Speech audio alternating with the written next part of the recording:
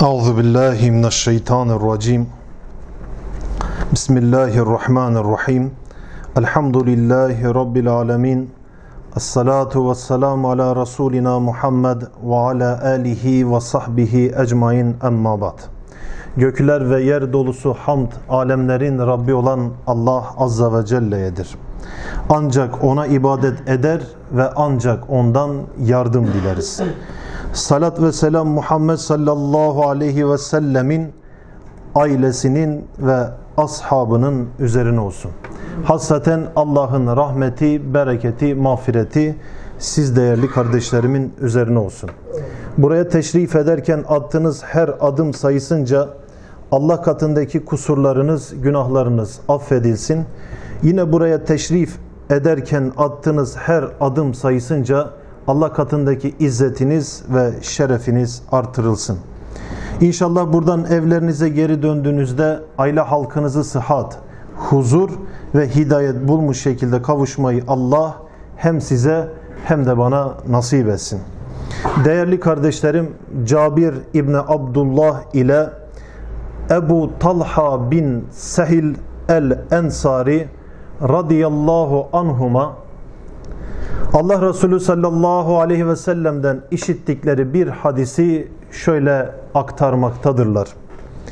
Her kim bir Müslümanı saygınlığının kaybolması, şerefinin elden gitmesi söz konusu olan bir yerde yardımsız bırakırsa tekrarlıyorum kardeşlerim her kim bir Müslümanı saygınlığının kaybolması, şerefinin elden gitmesi söz konusu olan bir yerde yardımsız bırakırsa Allah Azza ve Celle de onu kendisine yardım edilmesini en çok istediği anda yardımsız bırakacaktır. Subhanallah. Allah Azza ve Celle'ye en muhtaç olduğu bir sırada musibetlerin girdabında boğulmak üzereyken etrafında da hiç kimseyi bulamayıp yalnızlığını fark ettiği bir zamanda Allah Azza ve Celle kuluna yardım etmeyeceği tehdidinde bulunmaktadır. Peki sadece musibetlerin içerisinde yardım beklediği bir sırada mı? Kesinlikle hayır. Huzuru, sevinci, mutluluğu iliklerine kadar yaşamak istediği anlarda dahi ister bu evliliği olsun, isterse bir çocuk sahibi arzulamak olsun, isterse de aşını elde etmek için girişeceği bir iş için olsun Allah Azza ve Celle onu yalnız ve yardımsız bırakacağının tehdidini bildirmektedir. Hadis devam ediyor kardeşlerim. Kim de bir Müslümana şerefinin elden gitmesi ve saygınlığının yitirilmesi söz konusu olan bir yerde yardım ederse, yani müminin şerefini tamir ederse, mümine atılan iftiralara ve gıybetlere dur derse, Müslümanın düşmanları tarafından, düşmanlarının postalları tarafından izzeti ayaklar altına alınırsa ve buna sen ve ben şahitlik eder ve yardımda bulunursak Allah'ın yardımına en fazla muhtaç olduğumuz, Allah'ın nusretini en çok arzuladığımız bir anda, bir yerde ve bir zaman diliminde de Allah Azza ve Celle bizlere yardım edecektir. Allahu Akbar.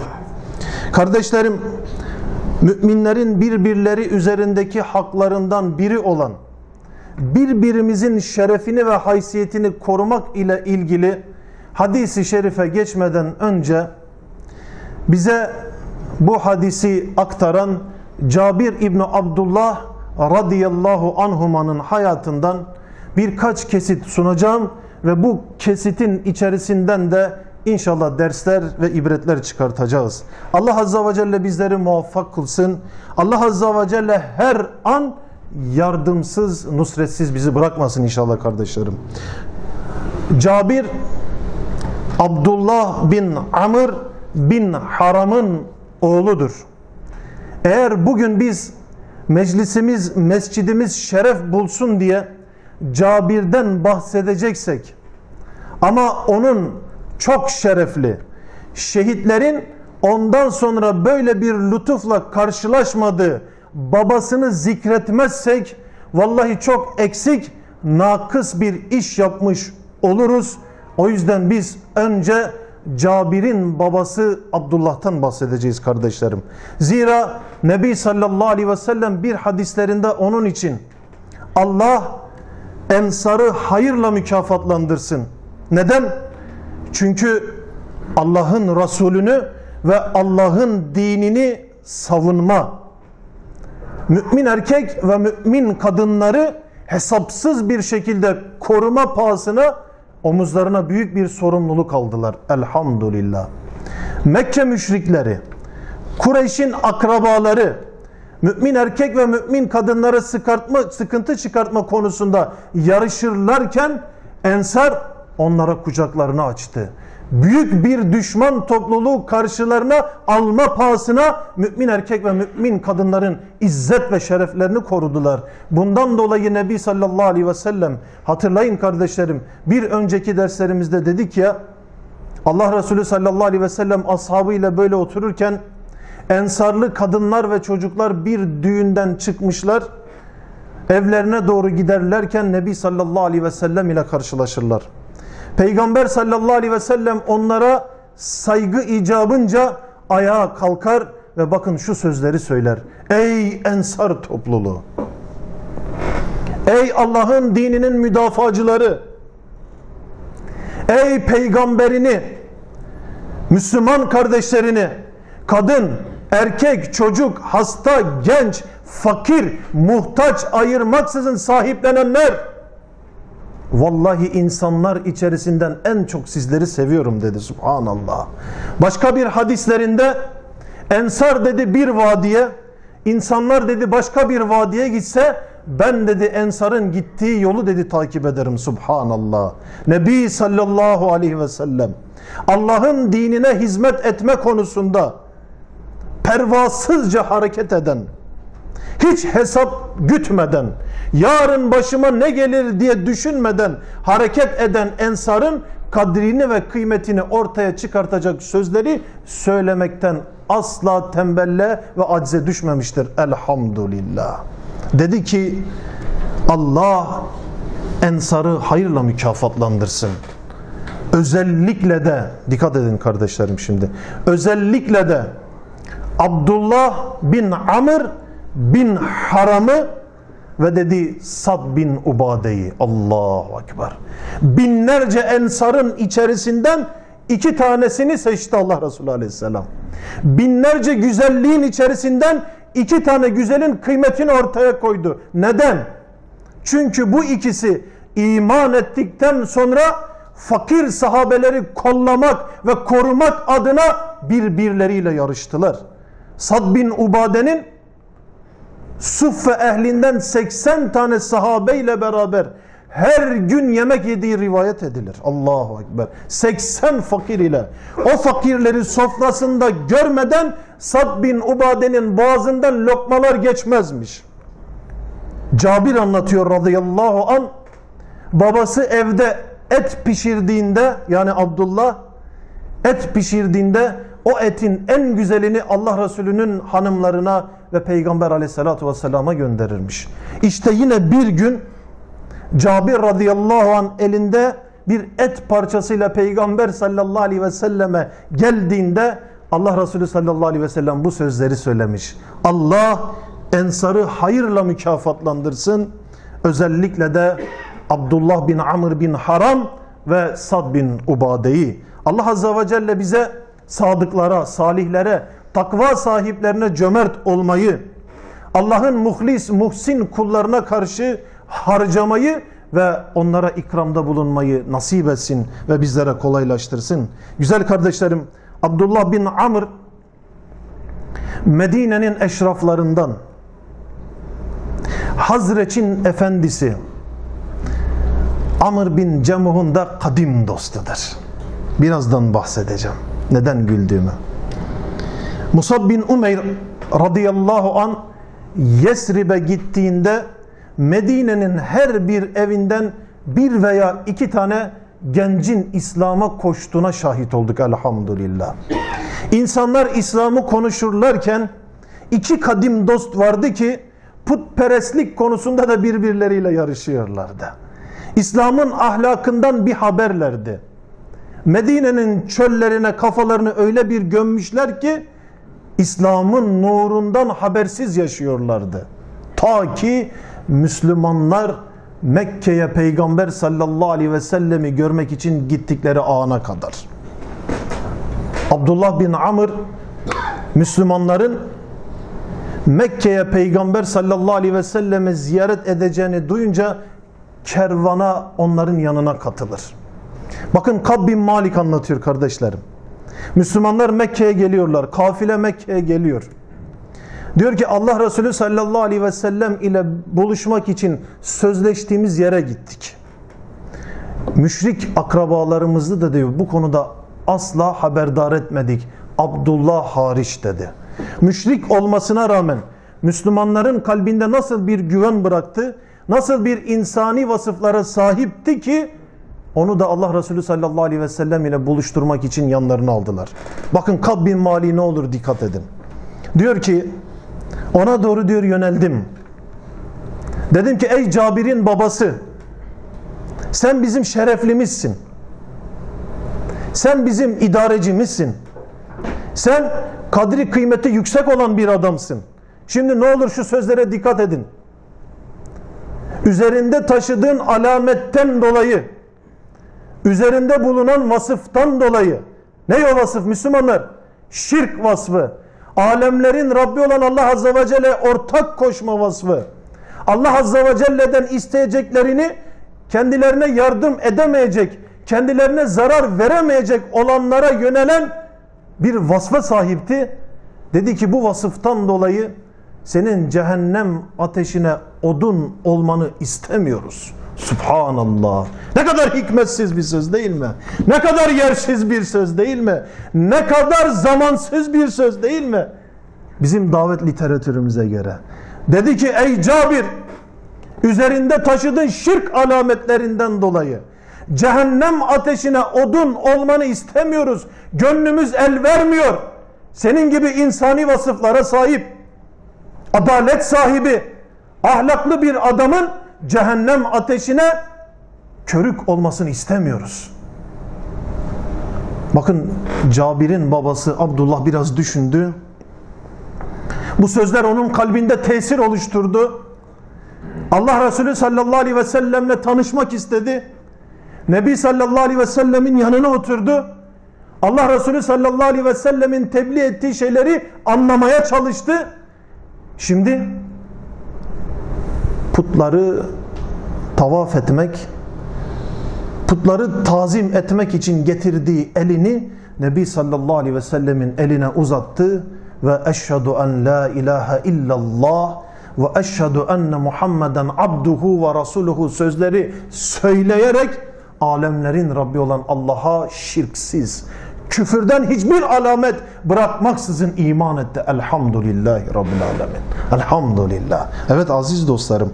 Vallahi ne Abdullah bin Amr bin Haram ne onun hidayetine vesile olan Medineli Müslümanlar belki diyorum parantez açarak belki de Allah Resulü sallallahu aleyhi ve sellem Abdullah bin Amr'ın İslam tarihine mal olacağını Uhud günü şehit düşüp meleklerin kanatlarıyla kendisini gölgeleyeceğini belki de hiçbir şehidin ulaşmayacağı makamı Allah'la perdesiz, hicapsız bir şekilde konuşmasını hayal dahi edememişlerdi.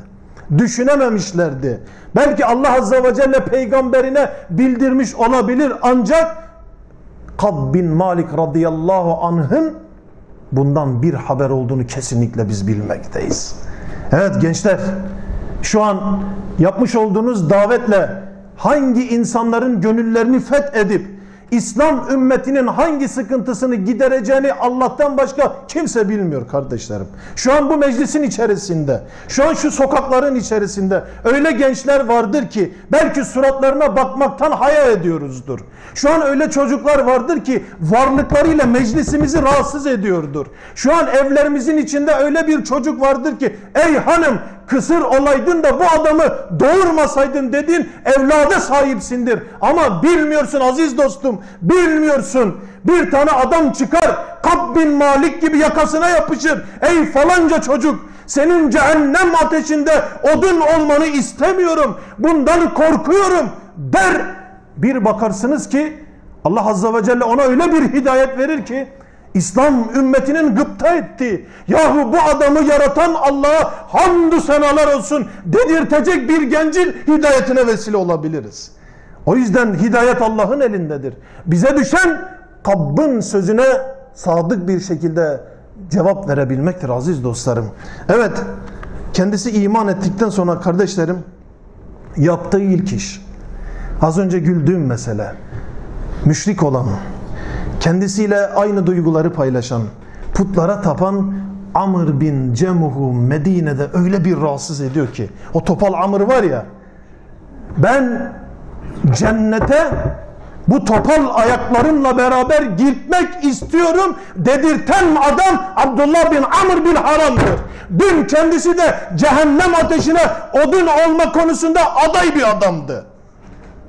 Aldı Amr'ı putperestliğin içerisinden, şirkin içerisinden, küfrün içerisinden, inadın içerisinden, Allah'a isyanın içerisinden çıkarttı. Allah'ın izniyle, Allah'ın lütfu ve keremiyle öyle bir şeye vesile oldu ki aziz dostlarım. 90 yaşında adam. Çocuklarıyla yarıştı. Çocuklarıyla kura çekti. Ben dedi cenneti istiyorum kardeşim. Ben şehadeti istiyorum. Aksaksın dediler. Yürüyemiyorsun dediler. Özürlüsün. Ben bu özürlü ayakla cennete girmek istiyorum dedi elhamdülillah. Allahu Akbar. Ey genç kardeşlerim. Allah rızası için şu etrafınıza bir bakının cehennem ateşine odun olmak için yarışan gençleri, sizin yaşıtlarınızı, akranlarınıza ne olur bir bakın. Hidayetten yoksun olan, İslam'ın nurundan yoksun olan, eşinize, dostunuza, akrabanıza, komşularınıza ne olur bir göz atın. Şimdi size Allah için soruyorum.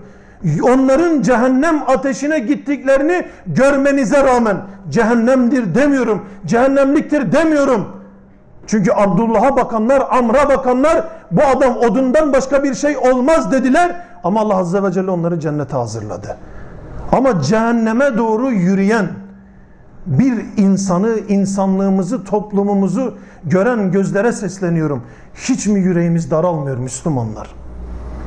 Hiç mi kalbimizde onların gitmiş olduğu bu yoldan dolayı bir sıkıntı belirmiyor aziz dostlarım?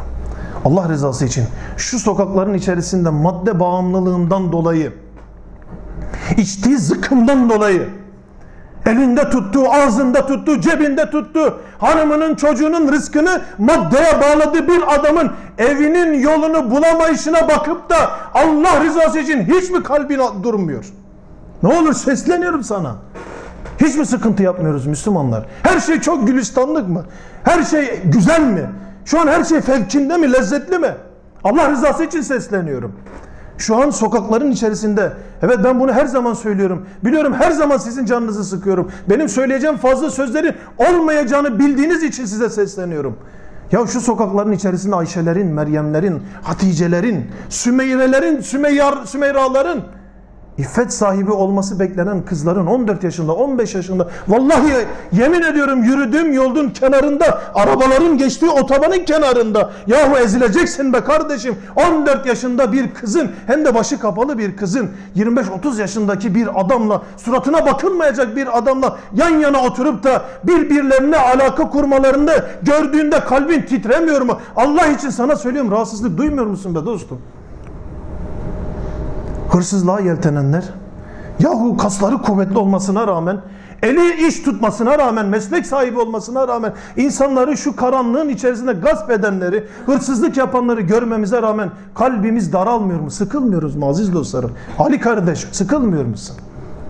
Allah rızası için şirkin içerisinde, küfrün içerisinde, bidatın ve hurafenin içerisinde Allah'ı memnun ettiğini zanneden Müslümanları gördüğümüzde utanmıyor muyuz aziz dostlarım?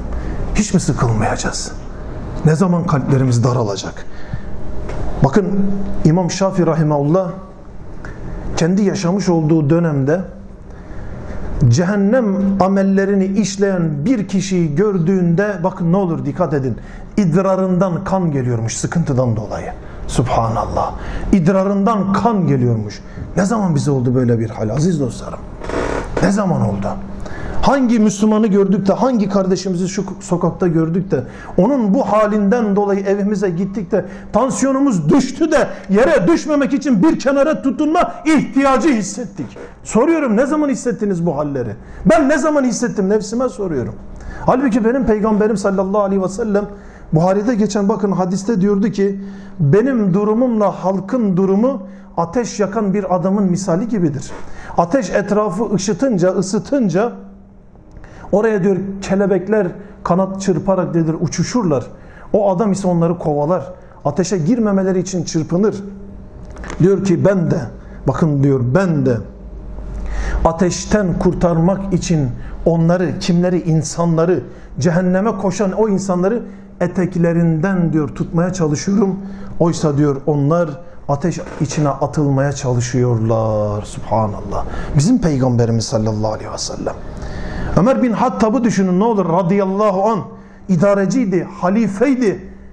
Bir bakıyorsunuz ki Azerbaycan'a kadar, bir bakıyorsunuz Afganistan'a kadar, bir bakıyorsunuz ki Şam'a kadar ordular gönderen adam bir bakıyorsunuz ki gece vaktinde elinde asası var.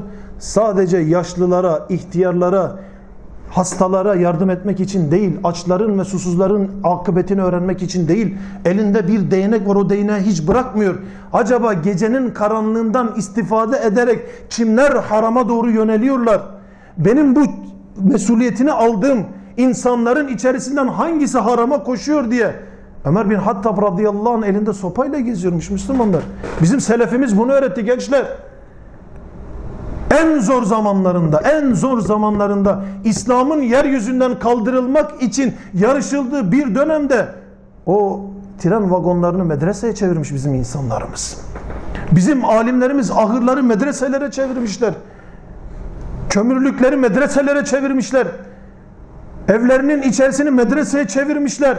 Yolda yürürken insanlara tebliğ etmişler, nasihat etmişler. Ama hiçbir zaman nasihatı terk etmemişler, bırakmamışlar. Peki biz aziz dostlarım, ne olur gençler size sesleniyorum. Biz etrafımızdan bu kadar insanlar cehenneme doğru süzülürlerken, o kelebekler gibi ateşe uçuşurlarken, ya ne olur işin ucundan tutalım gençler Allah rızası için. Parmaklarımızla değil ellerimizle tutalım, ağızlarımızla tutalım, azalarımızla tutalım, yapışalım resmen. Sadece elimizin altına değil kafamızı o taşın altına sokalım. Bunun bedelini her birimiz, her birimiz ödeyelim. Ne pahasına olursa olsun. Sırf insanlığın ateşten kurtulması için gayret gösterelim. Vallahi o saatten sonra da Allah Azze ve Celle kimlere hidayet verir? Bu hidayet neticesinde ne güzellikler ortaya çıkar. Vallahi biz bırakalım Allah Azze ve Celle'ye. Bakın yıllar önce okuduğum bir kitapta şöyle bir hikaye anlatılır. Gerçek bir hikaye. Körler Sağırlar ve Dilsizler okulunda hocalık yapan Ebu Abdullah isminde bir davetçi var. Bakın körler, sağırlar ve dilsizler okulunda. Cidde'de bir imam efendiyi arıyor. Diyor ki ben diyor iki talebemi alacağım. Senin diyor iznin olursa cami cemaatine diyor nasihat edeceğim. Olur diyor. Anlaştıkları gün Ebu Abdullah talebelerini alıyor camiye gidiyorlar. Cemaatle namaz kılınıyor. Ortaya bir masa konuluyor. Ebu Abdullah etrafına iki tane talebesini alıyor. Kimdir sizce? Biri Kabe imamı, biri Mescid-i Nebevi'nin imamı mı? Vallahi değil aziz dostlarım. Biri kadı, biri de allame birimi. Vallahi değil aziz dostlarım. Neyi biliyor musunuz? Biri sağır, yani duymayan ve dilsiz Ahmet isminde bir gençtir. Diğeri hem sağır hem dilsiz hem de ama olan Faiz isminde bir gençtir. Subhanallah. Cemaat bakıyor. Yahu belki bunların içerisinden bir adam demiştir ki koskoca Cidde'de Mekke'ye en yakın yerlerden birinde topu topu bize nasihat edecek şu iki genç midir? Her tarafıyla eksik, nakıs olan şu adamlar mıdır? İnanın belki içlerinden geçirmişlerdir. Yani alimler dururken, davetçiler dururken, ders sahipleri dururken biz iki tane yarım adamdan mı Allah'ın dinini öğreneceğiz? Onlardan mı nasihat alacağız? Eğer belki şu mescidin içerisinde olsaydı o adamlar şunu diyecektik. Acaba bize tiyatro mu oynanıyor? Körler ve sağırların içinde bulunmuş olduğu hali anlayalım diye acaba hoca efendi buraya onları ondan dolayı mı getirdi derdik. Ve bakın kardeşlerim sağır ve dilsiz olan Ahmet elleriyle kendi hayatını anlatmaya başlıyor. Çocukluğunda insanların camiye koşuşlarını anne ve babasının seccadeyi yere serip bir takım hareketler yapmasını önemsiyor. Garip buluyor. Ne yapıyor bunlar? Hiç kimse onu anlatmıyor. Kimse onun derdiyle ilgilenmiyor. Daha doğrusu onu fark etmiyor. Ne zaman anne ve babasının yanına gitse anne ve babası ona elleriyle itiyor. Çünkü anne ve baba yüreğinde onu oturtacak bir sevgi bulamamış kardeşler. Kabullenememişler böyle bir çocuğu. Sağır ve dilsiz bir evladı annesi ve babası kabullenememiş. Ahmet anlatmaya devam ediyor. Bir gün yolda yürürken bakın bir gün yolda yürürken bir davetçi Ahmet'in masumluğunu fark ediyor. Onların üzerinde garip bir hal var değil mi Müslümanlar? Allah Azze ve Celle ne halde olurlarsa olsunlar ister zengin ister fakir ister inanan ister inanmayan hangi halde olurlarsa olsun onların üzerine bir masumluk bırakmış. Bir davetçi dertli bir adam onların bu halinden etkileniyor. Ahmet'e doğru yöneliyor. Ahmet'le ilgileniyor.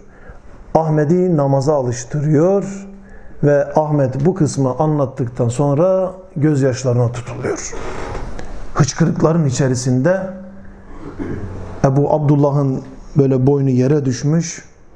Sizce Ahmet neden ağlıyor? Anne ve babasından gördüğü zulümleri mi hatırladı? O davetçiyle beraber olduktan sonra toplum tarafından kınanmayı mı hatırladı? Evlenememesi, iş sahibi olamaması, toplum tarafından itibar göremeyişi, insanların alaycı şekilde bakışları, o hızlı hareketleri var ya, seri hareketleri var ya, Panik atak tarzı bir ruh haline sahipler ya. Bundan dolayı insanlar gülüyor, alay ediyorlar. Buna mı ağladı? Vallahi değil Müslümanlar, vallahi değil. Neye ağladı biliyor musunuz? Mehmet abi. Diyor ki Ebu Abdullah Ahmet diyor namaz içerisinde almış olduğu lezzeti. Bakın kardeşlerim. Öyle bir lezzet aldı ki, öyle bir maneviyat elde etti ki, ruku ve secdelerle öyle büyük bir lezzete ulaştı ki, ben bu zamana kadar böyle bir nimetten nasıl mahrum kalmışım bundan dolayı ağlıyor. Şimdi namaz kılmayan Müslümanlar, secdelerle, rükularla tanışmayan Müslümanlar vallahi büyük bir tarafınız eksiktir. Namaz kıldığı halde namazı bir yük bilen, namazdan huşu almayan, namazı kaçarcasına kılan, Aman şu sorumluluğu üzerimizde atalım da kurtulalım diyenler de vallahi kalplerinin katılaşması yakındır. Kim olursa olsun. Ahmet'e bakın. Özür sahibi bir adam. Dilsiz bir adam. Sağır bir adam. Allah'ın ayetlerini, tilavetini işitmeyen bir adam.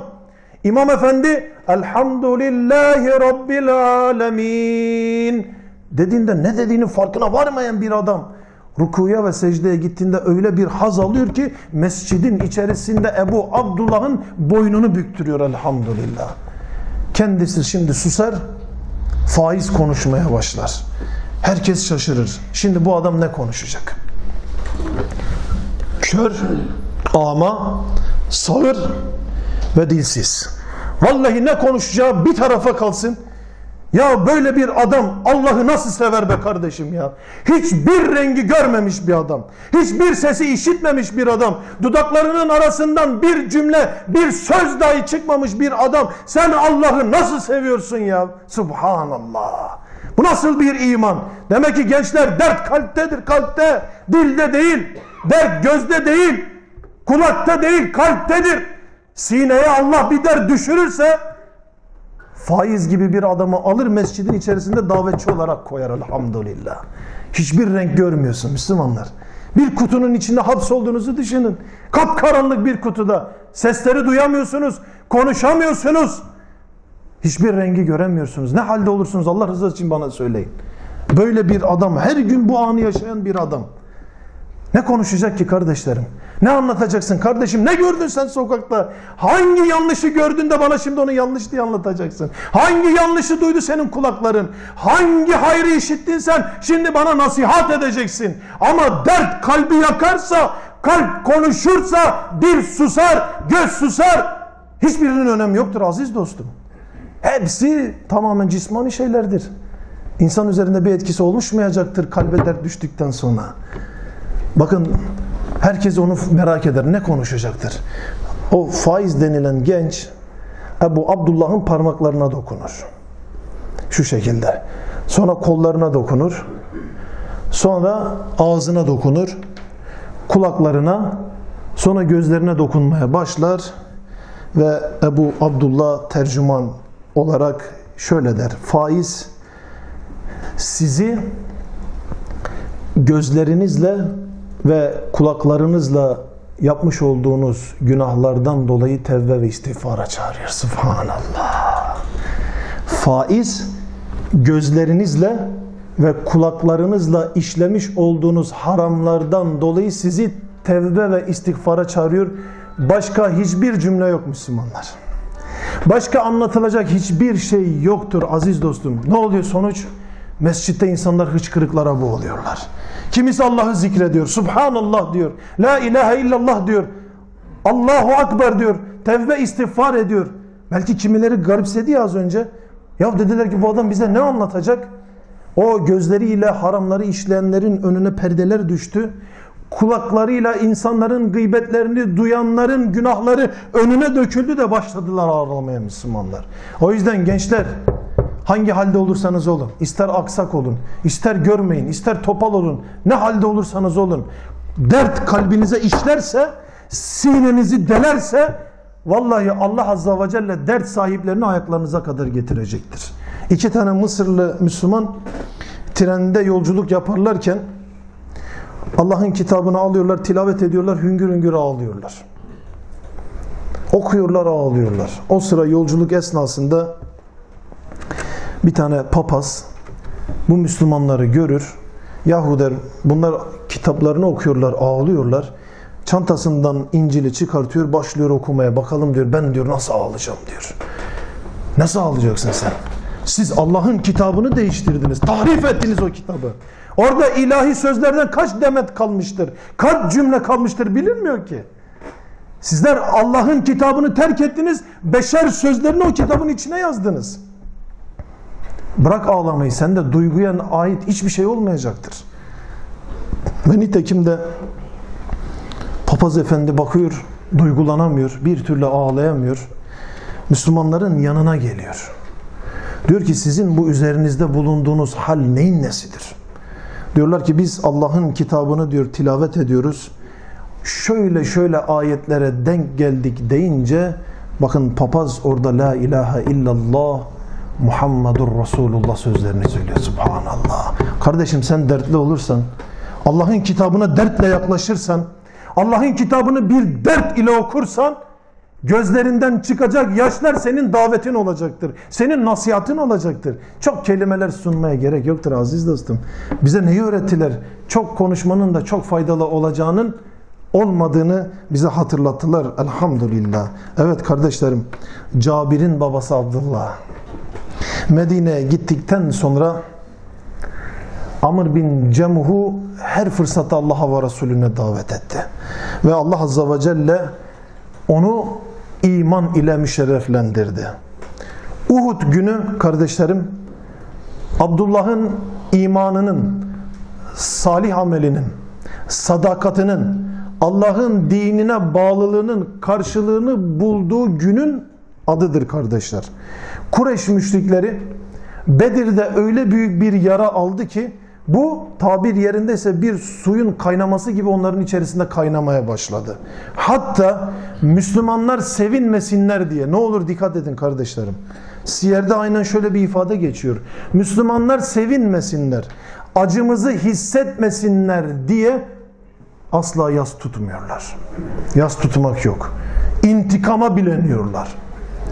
Asla esirler için fidye ödemiyorlar. Nasıl olsa biz bilendik yapacağımız savaşla onları geri alırız düşüncesine sahipler. Ve bakın büyük bir hışınla Uhud'a geliyorlar aziz dostum. İşte o savaşın öncesinde Abdullah radıyallahu an evladına yöneliyor diyor ki oğlum diyor Nebi'nin ashabından ilk şehit olanın ben olacağını diyor düşünüyorum diyor. Ben olacağını düşünüyorum. Demek ki malum oluyor kendisine.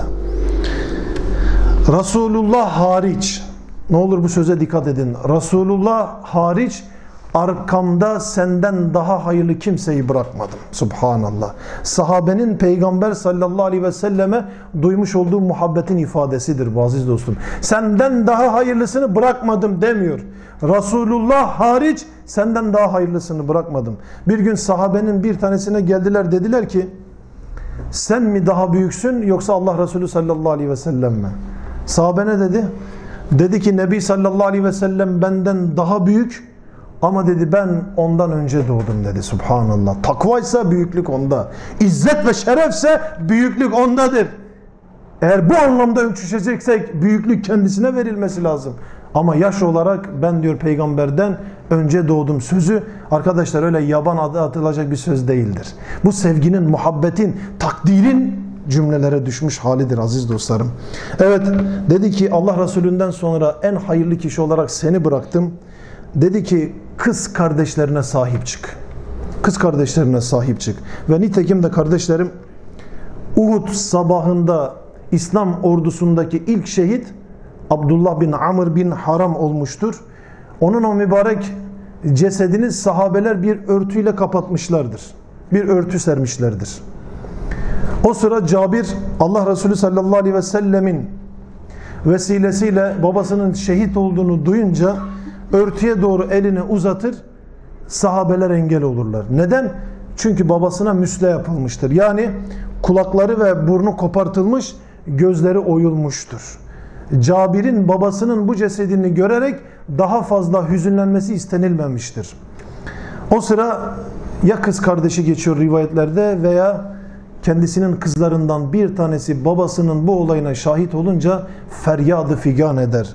Nebi sallallahu aleyhi ve sellem der ki ister diyor ağlayın ister ağlamayın. İster yas tutun ister mutlu olun hiç fark etmez. Şu an Abdullah bin Amr bin Haram'ın cesedinin melekler kanatlarıyla diyor gölgelemektedir. Allahu Ekber. Ne kadar büyük bir şeref aziz dostlarım. Onun diyor cesedini melekler gölgelemektedir. Allah Resulü sallallahu aleyhi ve sellem o sıra Amr bin Cemuh'u soruyor. Onun diyor hali nedir? Diyorlar ki ya Resulallah kendisi diyor şehit olmuştur. Allah Resulü sallallahu aleyhi ve sellem diyor ki bu ikisini diyor aynı kabre koyun diyor. Aynı kabre. Neden? Çünkü diyor dünyadayken bunlar kadim dostlardı. Bunların arkadaşlıkları önemliydi. Onları dedi aynı kabre koyun. Gençler kendinize bir kardeş edinin. Kendinize bir dost edinin.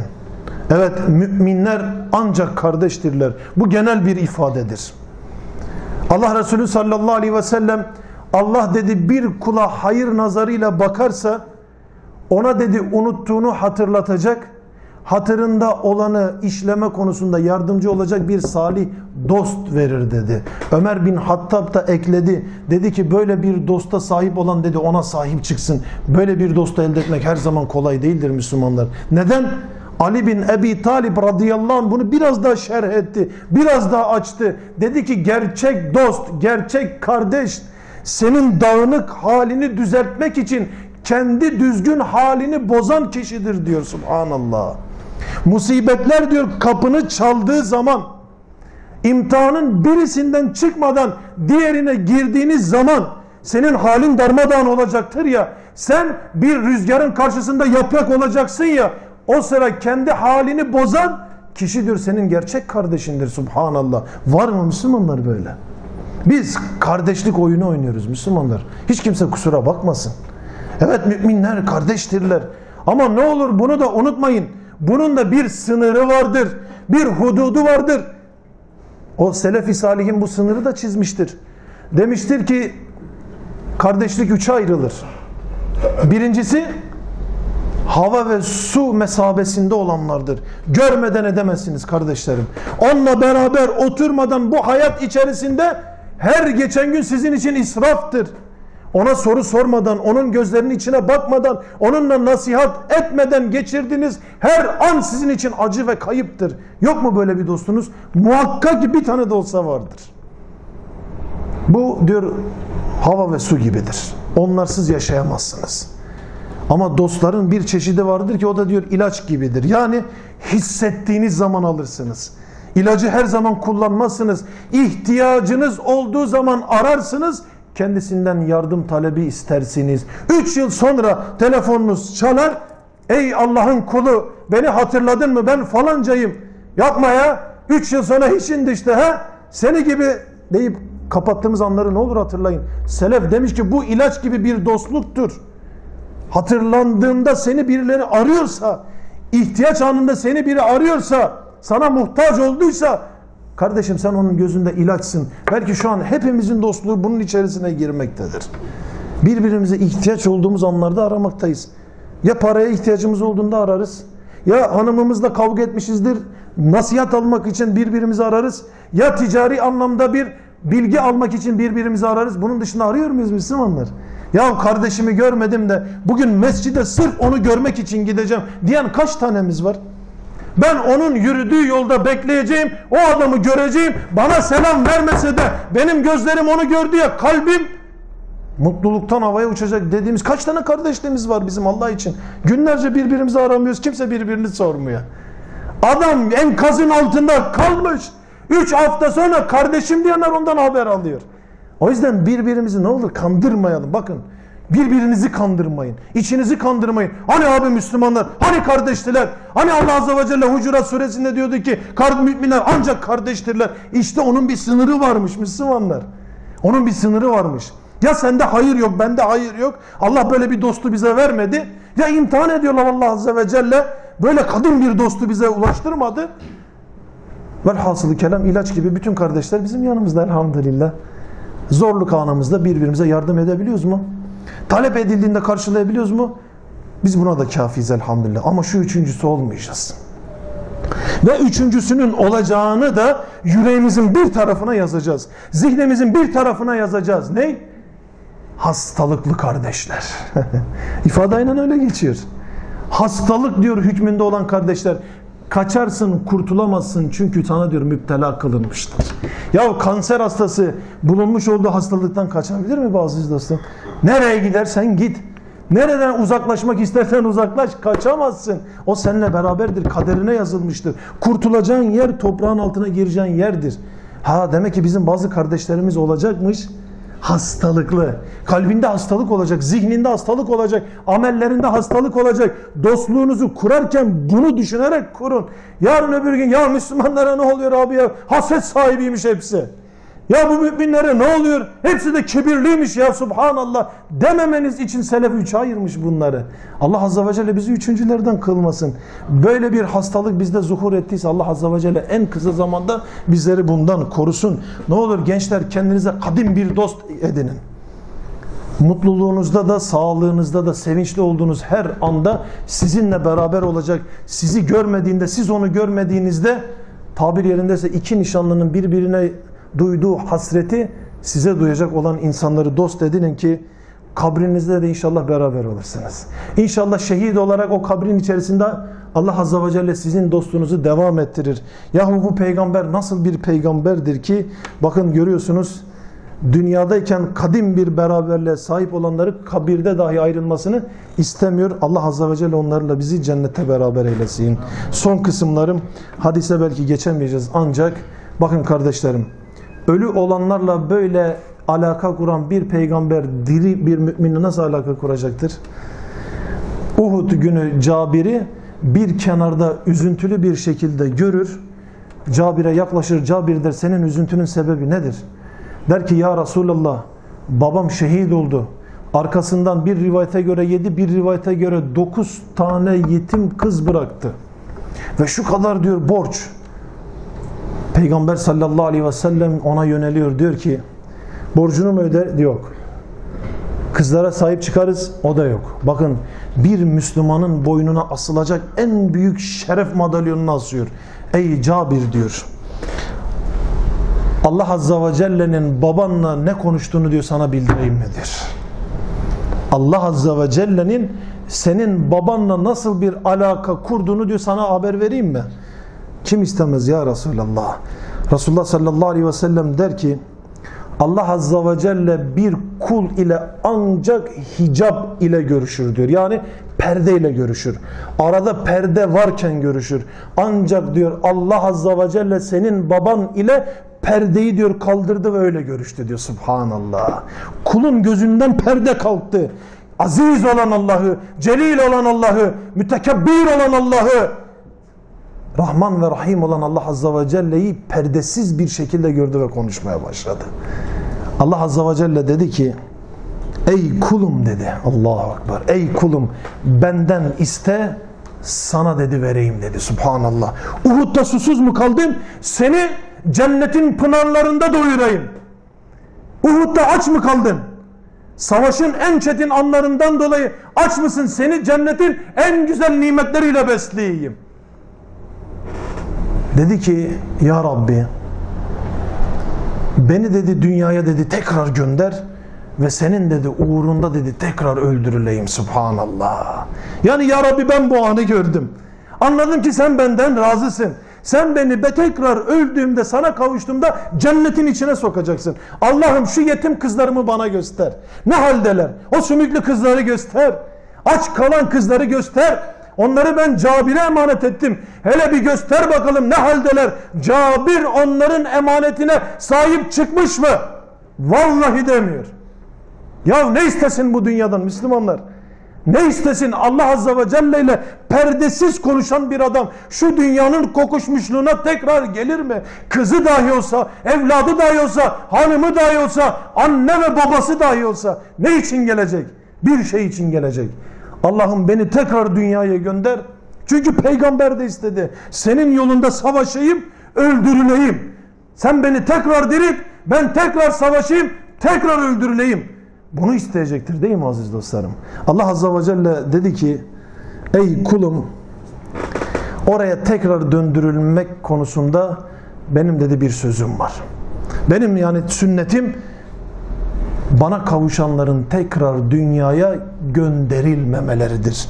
O da dedi ki Allah'ım o zaman dedi bunu dedi benden benim içimde bulunduğu durumu onlara haber ver deyince Allah Azza ve Celle Ali İmran suresi 169. ayeti indirdi. Bismillah.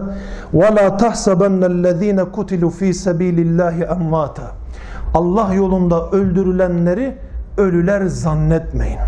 Allah yolunda. Allah'ın dini âli olsun diye. Allah'ın dini yücelsin diye.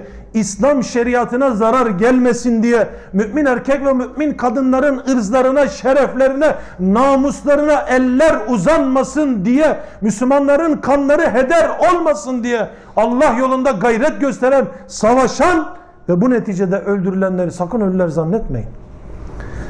Bel ahya'un inde rabbihim yurzakun. Onlar diridirler. Onlar hayat sahibidirler. Aynı şu an yaşadığınız gibi. Aynı şu an gördüğünüz gibidirler. Ve Rabbi katında rızıklanmaktadırlar.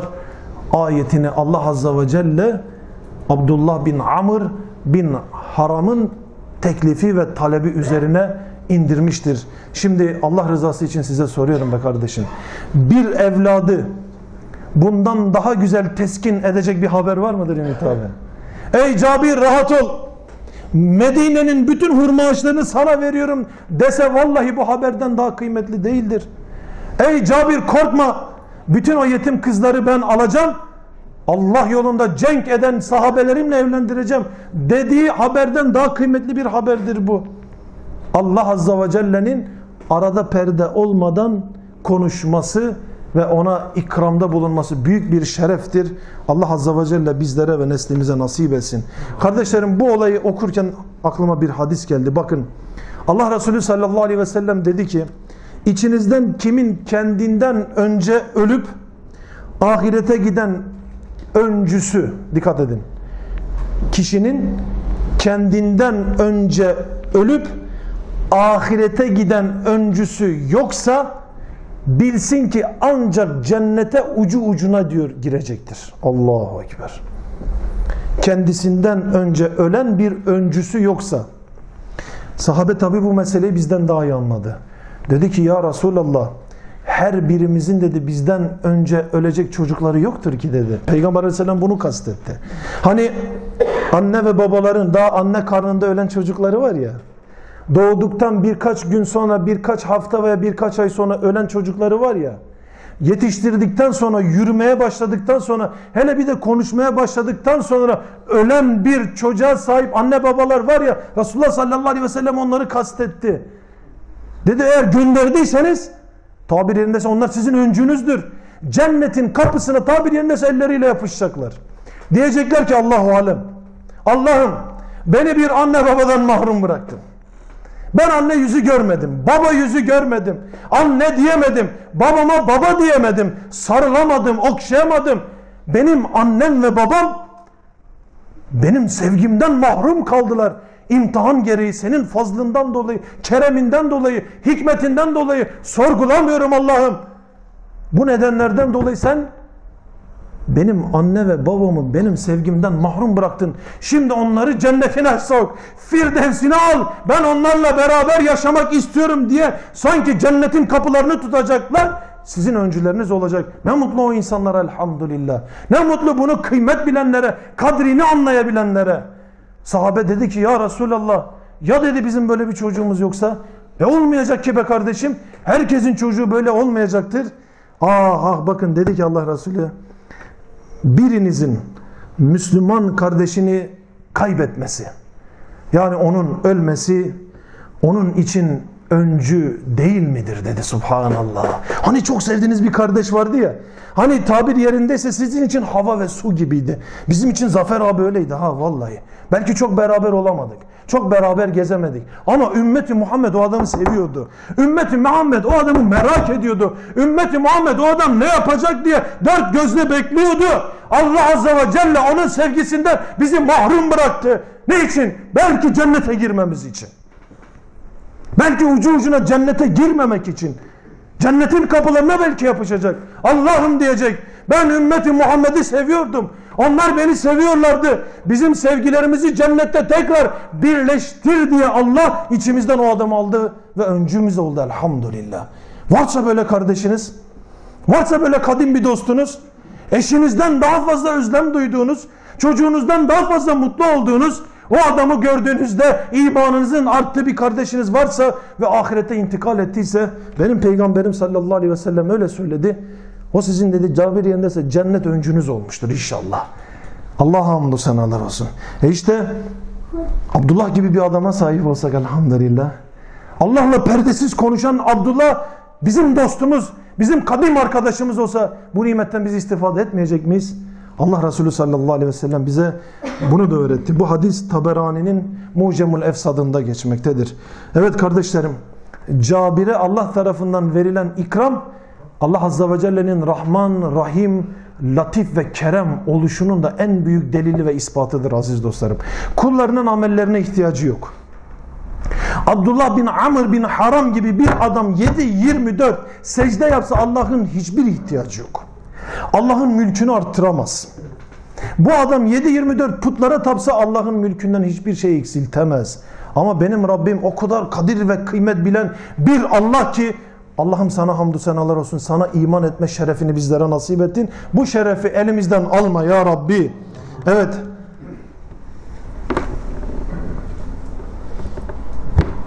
Abdullah bin Amr bin Haram söz veriyorum bitiriyorum.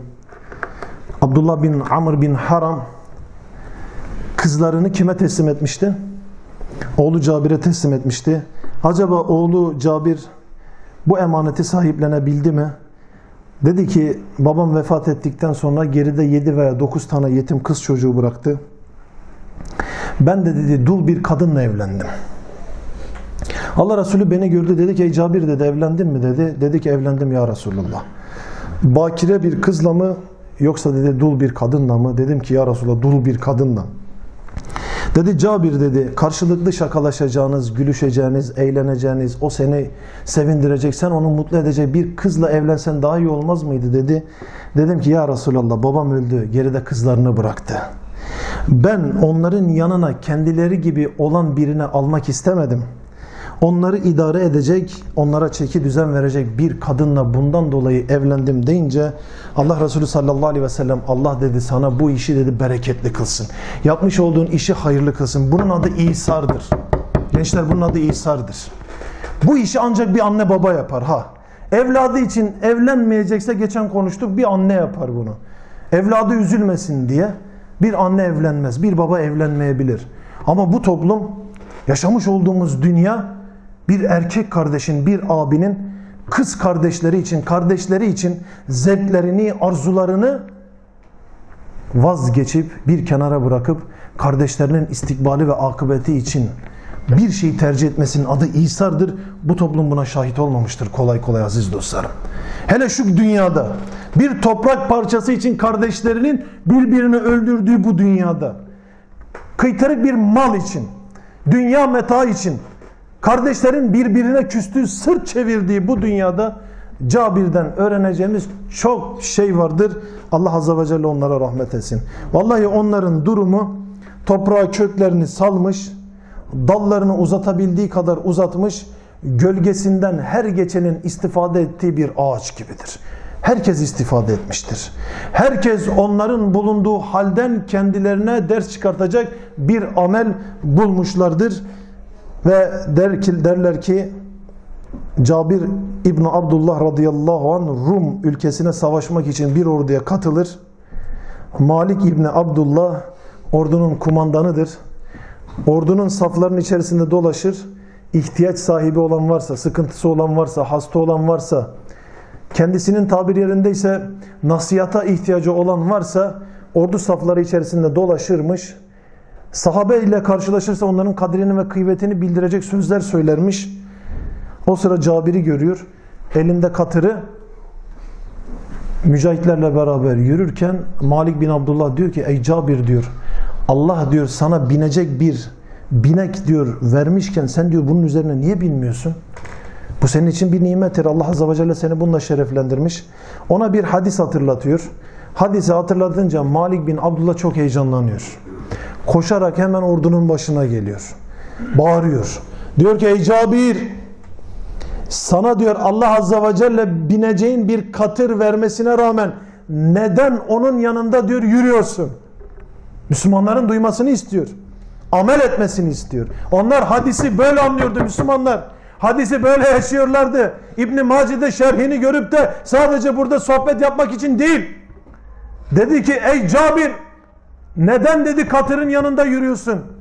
Cabir anladı. Yüksek sesle bağırdı. Dedi ki ben Nebi sallallahu aleyhi ve sellem'den işittim. Kim Allah yolunda ayakları tozlanırsa bilsin ki onun bedeni cehennem ateşinden uzak kalacaktır. Kimin? Hangi Müslümanın, hangi mücahidin, hangi davetçinin, hangi alimin Allah'ın dini için yürüdüğü yolda ayaklarının tozlandığına şahit olursanız bilin ki o beden cehennem ateşine girmeyecektir. Deyince bütün Müslümanlar bineklerinden iniyorlar. Hepsi yaya olarak yürümeye başlıyorlar ve diyorlar ki o ana kadar İslam tarihinde bu derece piyade birlik yani yürüyen bir birlik asla görülmemiştir. Evet onlar Allah'ı ve Resulünü Allah'ın dinini sevme, sahip çıkma, Allah'ın dinini savunma, Müslümanları koruma adına büyük bir gayret gösterdiler ve bunun karşılığını Allah Azze ve Celle'nin lütfu ve keremiyle gördüler. Allah Azze ve Celle bu şuuru bizlere de nasip etsin. Onların bu imanından ve salih amellerinden istifade etmeyi bizlere nasip etsin. İnşallah haftaya Allah nasip ederse hadisimizin konusuna gireceğiz. Müslümanların şerefini koruyanın Allah Azza ve Celle en zor anında onun sıkıntılarını üstleneceğini bildiren hadisin açıklamasına gireceğiz. Geceniz mübarek, akıbetiniz hayır, cennetiniz firdevs ala olsun. Esselamu Aleyküm ve Rahmetullahi ve Berekatuhu. Subhane Rabbike Rabbil İzzeti Amma Yesifun ve selamun alel mursaline velhamdülillahi Rabbil Alemin. El Fatiha ma salavat.